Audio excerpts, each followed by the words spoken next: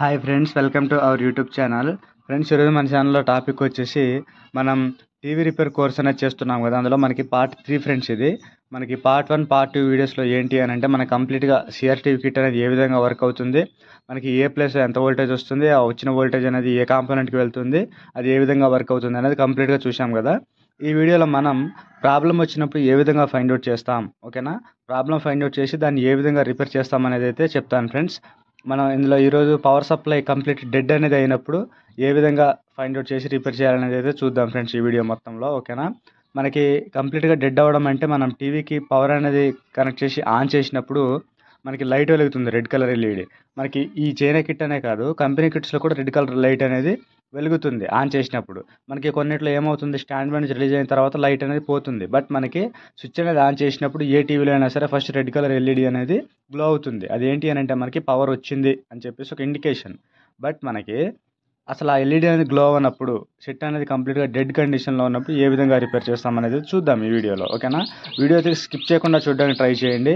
ఇంకా మన ఛానల్ని సబ్స్క్రైబ్ చేయకుండా చూస్తున్న వాళ్ళు ఎవరైనా ఉన్నట్లయితే సబ్స్క్రైబ్ చేసుకుని డైలీ అయితే ఫాలో అవుతుండండి ఫ్రెండ్స్ ఓకే సో ఫస్ట్ మనకి డెడ్ అయింది అని చెప్పేసి ఏ విధంగా అర్థమవుతుంది అని అంటే మనకి ఇక్కడ టూ ట్వంటీ వోల్ట్స్ అనేది ఇన్పుట్ ఇచ్చేస్తాం కదా ఇచ్చేసి ఆన్ చేసినప్పుడు మనకి ఎల్ఈడి అనేది వెలగదు. మరి చైనా కిట్కి ఎల్ఈడి ఏ విధంగా ఉంటుంది ఎక్కడ కనెక్ట్ చేస్తామంటే మనకి దీనికి సపరేట్గా ఉంటుంది ఈ విధంగా.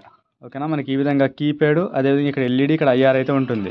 మనకి దీనికి సంబంధించిన జాక్ అనేది మనం ఇక్కడ కనెక్ట్ చేసుకుంటాం. ఓకేనా? ఇక్కడ కనెక్ట్ చేసుకున్నట్లయితే మనకి ఇందులో కనిపిస్తుంది. కంపెనీ కిట్స్కి అయితే డైరెక్ట్గా బోర్డుకి వచ్చేస్తుంది. ఓకే.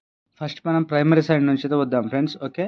మనం ముందుగా టూ ట్వంటీ వోల్ట్ లైన్ అనేది ఇక్కడ కనెక్ట్ చేసినప్పుడు మనకి పవర్ కార్డ్ ఏమైనా డ్యామేజ్ ఉందా అనేది చెక్ చేసుకోవాలి. ఫస్ట్ మనకి ఇక్కడ టూ ట్వంటీ వోల్ట్ అనేది చెక్ చేసుకున్నట్లయితే మనకి వోల్టేజ్ ఇక్కడ ప్రజెంట్ ఉంది అంటే పవర్ కార్డ్ అయితే ఓకే ఉన్నట్టు. ఓకేనా?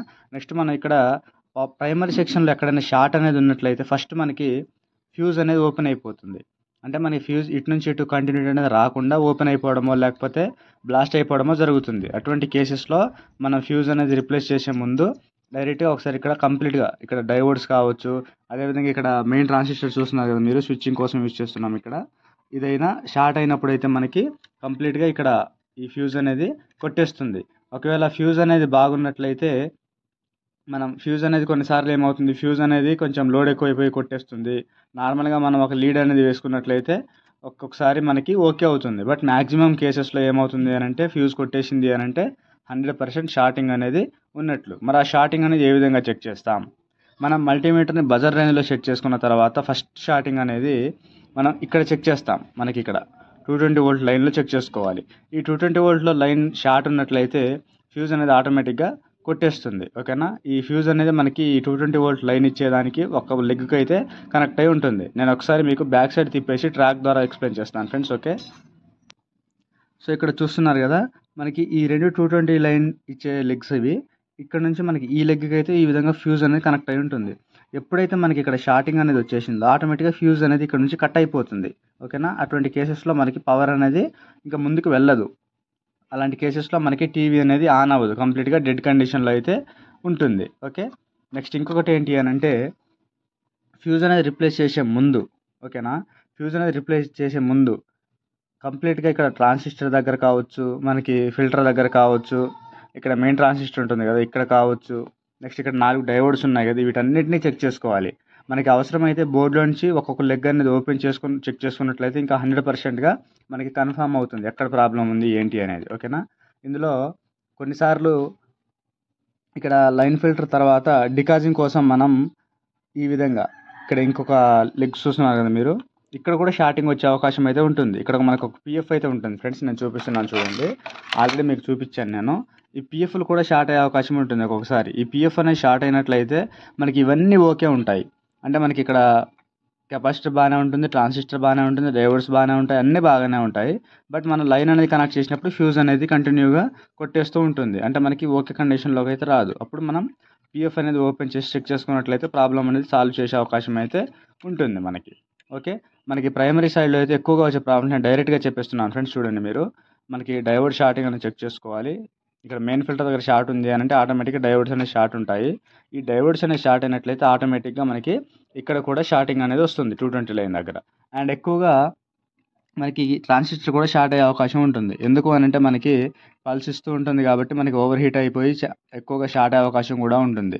మనకి ఈ ట్రాన్సిస్టర్ అనేది షార్ట్ అవ్వడానికి చాలా రీజన్స్ ఉంటాయి. ఫ్రెండ్స్ మనకి ఓవర్ హీట్ కావచ్చు లేకపోతే మనకి ఇందులో యూస్ చేసిన కాంపోనెంట్స్ ఉన్నాయి కదా జీనార్ కావచ్చు రెసిస్టెన్స్ కావచ్చు ఇవి ఏదైనా వీక్ అయినా లేకపోతే ఇక్కడ మెయిన్ కెపాసిటీ వీక్ అయినా ఇటువంటి కేసెస్లో మనకి ట్రాన్సిస్టర్ అనేది షార్ట్ అవుతుంది. అలాంటప్పుడు మనకి సెకండరీ సైడ్ రావాల్సిన వోల్టేజ్ అనేది కంప్లీట్గా డ్రాప్ అయిపోయి షెట్ అనేది డెడ్ కండిషన్లోకి అయితే వెళ్తుంది. సో ఓకేనా ప్రైమరీ సైడ్లో చెక్ చేసుకొని రిప్లేస్ చేసుకున్న తర్వాత ఫ్యూజ్ అనేది మనం మార్చుకున్నట్లయితే మనకి కిట్ అనేది వర్కింగ్లోకి అయితే వస్తుంది. ఇవి మనకి ప్రైమరీ సైడ్ వచ్చే ప్రాబ్లమ్స్ మరి సెకండరీ సైడ్ ప్రాబ్లమ్స్ వచ్చినప్పుడు కూడా మనకి కిట్ అనేది డెడ్ కండిషన్లో ఉంటుంది. అది secondary side or primary side అనేది మనం ఏ విధంగా ఫైండ్ అవుట్ చేసుకోవాలి? ప్రాబ్లం అంటే మనకి సెకండరీ సైడ్ ప్రాబ్లం వచ్చినట్లయితే ఓకేనా సెకండరీ సైడ్ ప్రాబ్లం వచ్చినట్లయితే మనకి మ్యాక్సిమం కేసెస్లో ఫ్యూజ్ అనేది కొట్టేయదు. ప్రైమరీ సైడ్ వచ్చినప్పుడు మాత్రం ఫ్యూజ్ అనేది కొట్టేస్తుంది. ఇది ఒకటి గుర్తుపెట్టుకోండి. నెక్స్ట్ ప్రైమరీ సైడ్ ఓకే ఉండి సెకండరీ సైడ్ పోయిందని ఇంకొక రకంగా ఏ విధంగా ఫైండ్ అవుట్ చేసుకోవాలి అని అంటే మనకి ఇక్కడ మెయిన్ ఫిల్టర్ దగ్గర వోల్టేజ్ చెక్ చేసుకోవాలి ఫస్ట్ ఓకేనా నేను ఇక్కడ బోర్డు తిప్పి చూపిస్తున్నాను చూడండి. ఇక్కడ మనకి వోల్టేజ్ డీటెయిల్స్లో చెప్పడం జరిగింది. మనం త్రీ ట్వంటీ వోల్ట్స్ ఆ విధంగా అయితే వస్తుంది. ఇక్కడ వోల్టేజ్ అనేది చెక్ చేసుకోవాల్సి ఉంటుంది. ఓకే ఇక్కడ వోల్టేజ్ అనేది త్రీ హండ్రెడ్ వస్తుంది ప్రజెంట్ అవుతుంది. ఒకవేళ మనకి సెకండరీ సైడ్ ప్రాబ్లం ఉన్నట్లయితే ఇక్కడ వోల్టేజ్ అయితే డ్రాప్ అవుతుంది పర్ఫెక్ట్గా ఉంటుంది. ఇక్కడ ఏ విధంగా అవుతుంది ప్రాబ్లం వచ్చేసి మీరు ఇక్కడ చూసుకుంటున్నట్లయితే మనకి ఇది వన్ టెన్ వోల్ట్స్ లైన్ కదా. ఇక్కడ మీరు క్లారిటీగా అబ్జర్వ్ చేయండి. ఫ్రెండ్స్ నేను ట్రాక్తో సహా చెప్తున్నాను. ఇది మనకి వన్ టెన్ వోల్ట్స్ డైవోడ్ ఇక్కడ నుంచి మనకి ట్రాక్ అనేది ఇక్కడ రెండు రెసిస్టెన్స్ ద్వారా డైరెక్ట్గా ఈహెచ్టీ లైన్కి అయితే వెళ్ళింది. ఓకేనా మనకి ఇక్కడ ఏమవుతుంది ఇది? డైరెక్ట్గా వన్ టెన్ వోల్ట్స్ అనేది ఈహెచ్టీకి ఇన్పుట్ అవుతుంది. అయితే మనకి ఈ లైన్లో కలెక్టర్ పాయింట్ అనేది ఒకటి ఉంటుంది ఇక్కడ. ఓకేనా నేను ఆల్రెడీ చెప్పడం జరిగింది. ఇది ఏమవుతుందంటే అవుట్పుట్ ట్రాన్సిస్టర్ కనెక్ట్ అయి అవుతుంది. ఇక్కడ మనకి EH transformer output transfer transistor next ఇక్కడ డైవోడ్ ఈ మూడు అనేది మనకి ఒకటే లైన్లో అయితే ఉండడం జరుగుతుంది. అంటే మనకి మీటర్తో చెక్ చేసుకున్నట్లయితే గ్రౌండ్ అదేవిధంగా ఇది సపరేట్గా అయితే ఉండడం జరుగుతుంది. మనకి ఇక్కడ ఈ డైవోడ్ అవుట్ ఈ ఇన్ను అదేవిధంగా ఇక్కడ కలెక్టర్. ఈ మూడు అనేది మనకి షార్టింగ్లో అయితే ఉండడం జరుగుతుంది. అంటే ఒకటే.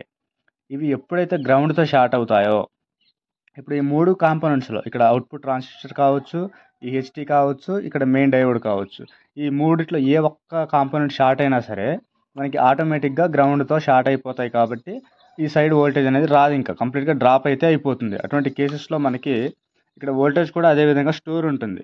ఓకేనా ఇక్కడ మనకి ఫిల్టర్ దగ్గర వోల్టేజ్ అనేది స్టోర్ ఉంటుంది. మనం ఈ కండిషన్లో ఉన్నప్పుడు ఫస్ట్ వోల్టేజ్ అనేది చెక్ చేసుకోకుండా డైరెక్ట్గా ఇక్కడైతే చెయ్యి అయితే పెట్టకూడదు. స్టోరేజ్ స్టోరేజ్ ఉన్న వోల్టేజ్ అనేది షాక్ కొట్టే అవకాశం అయితే ఉంటుంది. ఓకేనా అయితే మరి ఏ కాంపోనెంట్ అనేది షార్ట్ అయింది? ఏ విధంగా తెలుసుకోవాలి? సో అది చూపిస్తాను ఇప్పుడు చూడండి. ఫస్ట్ మనకి ఇక్కడ రెసిస్టెన్స్ ఉంటాయి కదా ఈ రెసిస్టెన్స్ కంటిన్యూటీ అనేది చెక్ చేసుకోవాల్సి ఉంటుంది. ఒకవేళ మనకి ఈ సైడ్ అనేది షార్ట్ ఉన్నట్లయితే ఎక్కువగా అయితే ఇక్కడ అవుట్పుట్ ట్రాన్సిస్టర్ అనేది కట్ అయిపోతూ ఉంటుంది ఎక్కువ కేసెస్లో ఒకవేళ ఈ ట్రాన్సిస్టర్ అనేది షార్ట్ అయినట్లయితే ఆటోమేటిక్గా ఈ రెసిస్టెన్స్ అనేది ఓపెన్ అయిపోతాయి. ఓకే ఈ రెసిస్టెన్స్ అనేది ఓపెన్ అయిపోతాయి. అటువంటి కేసెస్లో మనకి స్టాండ్ బై నుంచి అయితే రిలీజ్ అవ్వదు కిట్ అనేది. ఇక్కడ వన్ టెన్ వర్డ్స్ అనేది షో అవుతుంది. బట్ మనకి కిట్ అనేది స్టాండ్ బై నుంచి రిలీజ్ అవ్వదు. ఎందుకంటే మనకి మెయిన్ ఈహెచ్టీకి వెళ్ళాల్సిన వోల్టేజ్ అనేది వెళ్ళదు. ఓకేనా? నెక్స్ట్ ఈ డైవర్డ్ అనేది షార్ట్ అయినట్లయితే ఓకే? ఈ డైవర్డ్ అనేది షార్ట్ అయినట్లయితే మనకి ఇంకా మ్యాక్సిమం సెకండ్ సైడ్ కంప్లీట్గా షార్ట్ అయినట్లే చూపిస్తుంది మనకి. అటువంటి కేసెస్లో కూడా సెట్ అనేది కంప్లీట్గా డెడ్ కండిషన్లోకి అయితే వెళ్ళిపోతుంది. ఇది ఒకటి నెక్స్ట్ ఇంకొకటి పవర్ సప్లై రాకపోవడానికి ఇష్యూ ఏంటి అని అంటే మనకి ఇక్కడ థర్డ్ డైవర్డ్ ఇక్కడ మెయిన్ ఐసీ కోసం ఇక్కడ రెగ్యులేటర్ సహాయంతో వోల్టేజ్ వెళ్తుందని చెప్పాను కదా నేను. అయితే ఈ థర్డ్ డైవర్డ్ షార్ట్ అయినా సరే సో అలాంటి కేసులో కూడా మనకి కంప్లీట్ షార్ట్ అయిపోతుంది కాబట్టి డైవర్డ్ అనేది పవర్ సప్లై అనేది రాదు. బట్ మనకి ఇక్కడ వోల్టేజ్ అనేది చూపిస్తుంది. ఇక్కడ మీరు చూసుకుంటున్నట్లయితే మనకి వన్ టెన్ చూపిస్తుంది వర్టికల్ చూపిస్తుంది. కాకపోతే కొంచెం స్లైట్ డ్రాప్ అనేది అవుతూ ఉంటాయి. అంటే మనకి స్టేబుల్గా లేకుండా కొంచెం అప్ అండ్ డౌన్ అయితే షో అవుతుంది మీటర్లో అటువంటి కేసెస్లో ఏ డైవర్డ్ అనేది స్టార్ట్ అయిందో ఓపెన్ చేసుకొని రిప్లేస్ చేసుకోవాల్సి ఉంటుంది. సో ఇవన్నీ మనకి బేసిక్గా మనకి కొంచెం అడ్వాన్స్డ్లోకి వెళ్ళినట్లయితే అంటే మనకి ప్రైమరీ సైడ్ ఓకే ఉంది సెకండరీ సైడ్ ఎంత కంప్లీట్గా ఓకే ఉంది అయినా మనకి పవర్ ఎల్ఈడి అనేది గ్లో అవ్వట్లేదు. ఇక్కడ మెయిన్ ఐసీ ఉంటుంది కదా ఈ మెయిన్ ఐసీ దగ్గర అయితే ప్రాబ్లం ఉంటుంది. అయితే మనకి ఇది అడ్వాన్స్డ్ ఫ్రెండ్స్ ఎక్కువగా అయితే మనకి ప్రైమరీ సైడ్ లేదంటే సెకండరీ సైడ్ ఇక్కడ షార్టింగ్ అనేది అవ్వడం వల్ల అయితే సిస్టమ్ అనేది డెడ్లోకి అయితే వెళ్ళిపోతుంది. సో ఫ్రెండ్స్ మనకి బేసిక్గా అయితే ప్రైమరీ సైడ్ లేదంటే సెకండరీ సైడ్ ఇక్కడ మనకి ఈ ట్రాన్సిస్టర్ షార్టింగ్ కావచ్చు లేకపోతే ఇక్కడ ఈ ట్రాన్సిస్టర్ షార్టింగ్ కావచ్చు. మెయిన్గా వీటి వల్లనే మనకి సిస్టర్ సెట్ అనేది కంప్లీట్గా డెడ్ కండిషన్లోకి అయితే వెళ్ళిపోతుంది. అది మనం మీరు సేమ్ ఇదే టిప్స్ అనేది ఫాలో అయ్యి మీరు ప్రాసెస్ అనేది స్టెప్ బై స్టెప్ వెళ్ళినట్లయితే ప్రాబ్లం అనేది ఫైండ్ అవుట్ చేసి రిపేర్ చేసే అవకాశం అయితే ఉంటుంది ఓకేనా? మరి ఐసీ రిలేటెడ్ ఇదంతా అంటే అది అడ్వాన్స్డ్లోకి అయితే వస్తుంది. బట్ మనకి అది చాలా రేర్గా వస్తుంది కంప్లైంట్ అనేది. బట్ మ్యాక్సిమం కేసెస్లో వీటి వల్లనే మనకి సిస్టమ్ అనేది డెడ్ అవుతుంది ఓకేనా? సో ఇది ఫ్రెండ్స్ ఈరోజు వీడియో.